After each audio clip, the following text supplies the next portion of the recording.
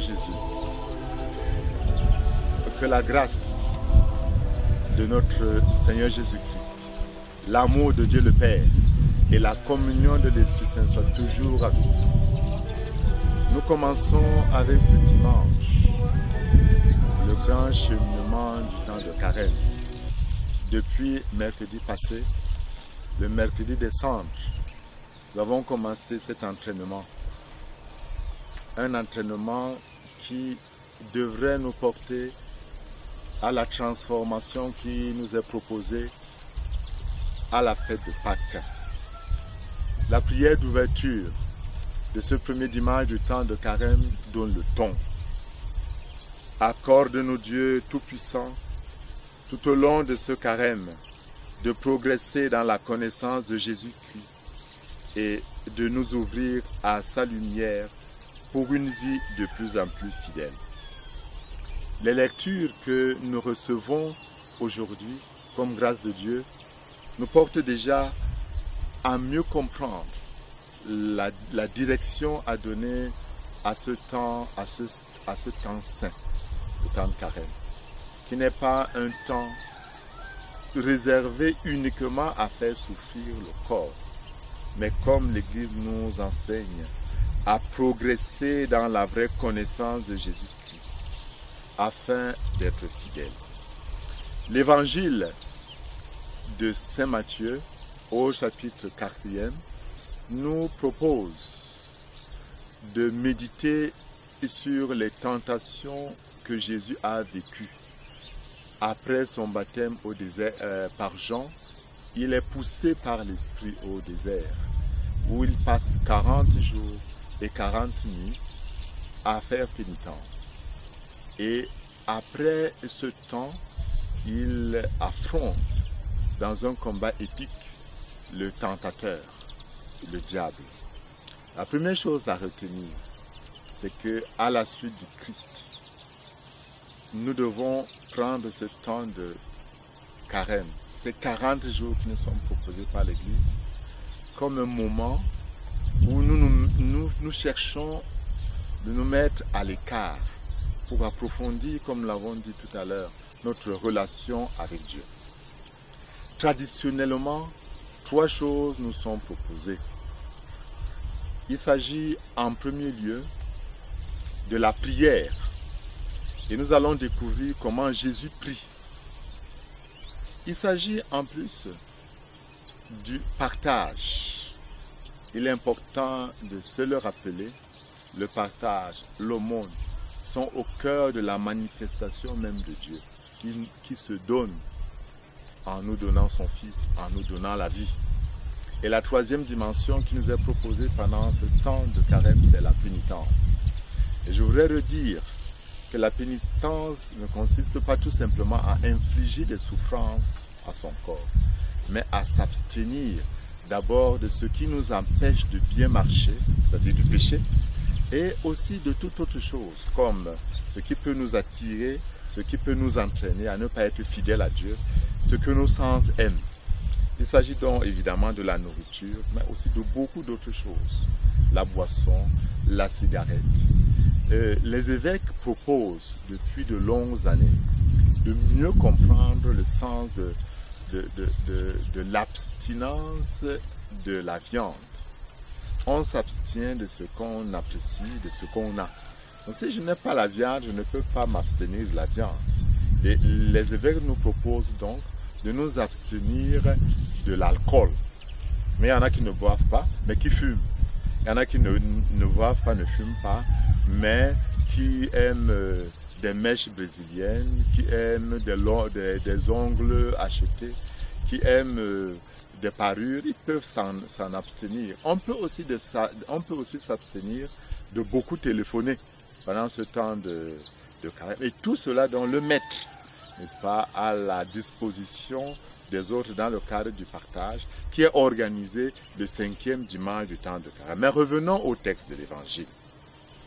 Après son baptême donc, Jésus conduit au désert à trois tentations. Le tentateur, qu'est-ce qu'il dit d'abord à Jésus? Si tu es le Fils de Dieu, ordonne ces pierres, que ces pierres deviennent des pains. Mais Jésus répond, il est écrit, Ce n'est pas seulement de pain que l'homme doit vivre, mais de toute parole qui sort de la bouche de Dieu. La première tentation est liée à ce qui constitue pour nous, hommes, l'une des premières nécessités, avoir de quoi manger. C'est là où le diable attaque d'abord le Christ. Transformer les pierres en pain signifie ne pas avoir le courage de se déposséder de ce désir de, de, satisfaire à ses besoins naturels. Ce besoin est naturel, mais peut-on le dépasser? Peut-on faire mieux Nous voyons ce qui se passe au cours de nos fêtes, au cours même de nos obsèques, de nos funérailles. Comment la nourriture est devenue, n'est-ce pas, un, euh, au cœur de ce qui était traditionnellement bien fait, une source de problèmes, de conflits. Peut-on le dépasser Mais ce n'est pas l'unique tentation. La deuxième tentation est plus subtile encore. Le démon amène Jésus à la ville sainte et lui dit, si tu es le Fils de Dieu, jette-toi en bas, car il, est écrit, il donnera pour toi des ordres à ses anges, et te porteront sur leurs mains, de peur que ton pied ne heurte une pierre. Et Jésus, qu'est-ce qu'il fait? Il déclare, il est écrit, tu ne mettras pas à l'épreuve le Seigneur ton Dieu. Il est vrai, le Seigneur est capable de tout faire. Mais la réponse de Jésus est merveilleuse. Si Dieu est capable de tout faire, tout est-il pour notre bien? Devons-nous mettre Dieu à l'épreuve? Devons-nous chercher le merveilleux? Jésus nous donne la réponse dans sa propre vie. Il a accepté. Il a accepté de souffrir. Il a accepté de porter sa croix. Il a accepté de, de, s'humilier même et d'aller jusqu'au bout. Alors, nous ne devons pas mettre Dieu à l'épreuve.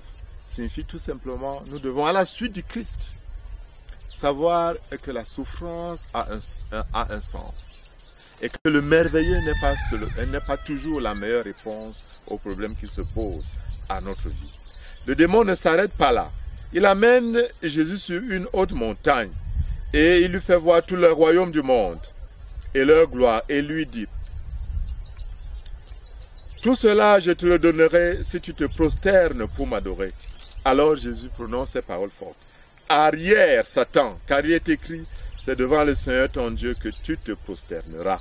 Et c'est lui seul que tu adoreras. C'est le, le sommet, n'est-ce pas, des tentations, n'est-ce pas, commencer à prendre autre chose pour Dieu. Cette tentation, nous la rencontrons tous les jours. Nous la rencontrons tous les jours. Elle peut être déjà de la part de, de, ceux qui s'approchent de nous ou bien de nous qui avons la possibilité de. Il est important de se rappeler que toute vie vient de Dieu, tout pouvoir vient de Dieu. Il est important pour chacun de nous de se rappeler qu'il est, il n'y a qu'un et un seul Dieu. Un et un seul Dieu. Nous devons être très attentifs à ne jamais vouloir nous mettre à la place de Dieu. Si nous avons des moyens, nous sommes une élite, nous avons des moyens d'aider les gens. Est-ce que nous nous mettons à la place de Dieu? Nous-mêmes qui allons vers l'élite, est-ce que nous considérons notre élite comme un Dieu? Bien, nous maintenons notre liberté. C'est un jeu subtil. Mais c'est aussi, n'est-ce pas, en nous-mêmes. Nous pouvons arriver à nous considérer comme des dieux et à ne plus voir la place indispensable de Dieu dans notre vie. L'homme est fondamentalement un adorateur, c'est-à-dire qu'il reconnaît qu'il vient d'eux, que ce qu'il est est de Dieu, ce qu'il a a de Dieu. Quand le diable achève toute cette, toute cette tentation, et Jésus résiste, les anges viennent, nous dit le texte, s'approchent de Jésus et le servent parce qu'il est vainqueur. Le Christ nous a dit, n'ayez pas peur car j'ai vaincu le monde. La parole que nous recevons aujourd'hui nous donne déjà un avant-goût de la Pâque. Jésus est vainqueur. Et sachons-le, l'esprit de celui qui a ressuscité Jésus d'entre les morts, l'Esprit Saint qui a aidé Jésus, qui a porté Jésus à la victoire, nous donne aussi de participer à cette même victoire. Sur tous ces genres de tentations. La tentation des biens matériels. La tentation de l'émerveillement, du miraculeux. Et la tentation de la domination, du pouvoir, d'écraser les autres. Puisse le Père plein de tendresse, le Dieu de bonté, nous libérer en ce jour de tout attachement inconsidéré, de tout attachement qui ne nous donne plus d'être libres par rapport au bien matériel. Puisse le Seigneur nous libérer de tout orgueil qui nous donnerait de penser que nous sommes devenus Dieu. Puisse le Seigneur nous libérer de tout ce qui nous empêche de le reconnaître comme unique Dieu. Que le Dieu qui nous a créés par amour et qui nous a sauvés par amour nous libère de tout ce qui nous empêcherait d'aller à lui pendant ce temps de carême. De ce temps de carême être pour nous un temps de grâce, d'approfondissement de la connaissance de Jésus. Lui qui de conditions divines s'est anéanti pour que nous ayons la vie. Puisses-tu nous donner de, nous anéantir pour être élevés. Puisses-tu nous donner de, marcher sur cette trace pendant ce temps de carême. Et que Dieu, dans sa bonté, vous bénisse, le Père, le Fils et le. Amen.